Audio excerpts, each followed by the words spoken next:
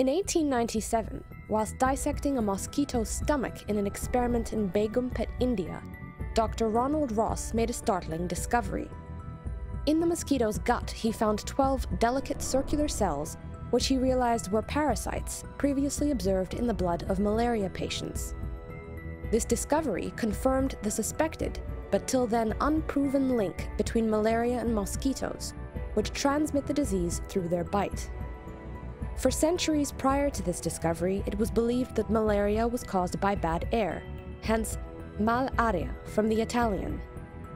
The first major challenge to this theory came in 1880 when Alphonse Laveran, a French army surgeon stationed in Algeria, noticed parasites in the blood of a patient suffering from malaria.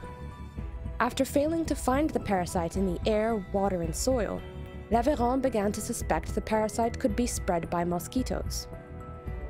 However, it was Ronald Ross who provided the definitive scientific evidence to support this theory.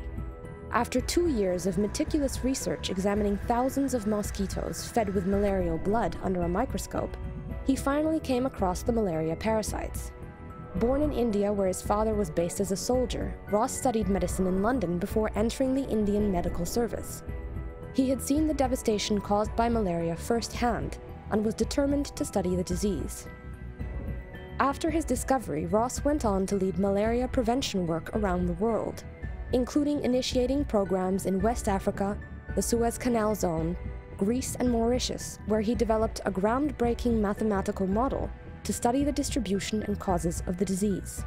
Ross was knighted in 1911, and the Ross Institute and Hospital for Tropical Disease was founded in his honour the institute was later absorbed by the London School of Tropical Medicine, which continues to work on improving healthcare worldwide.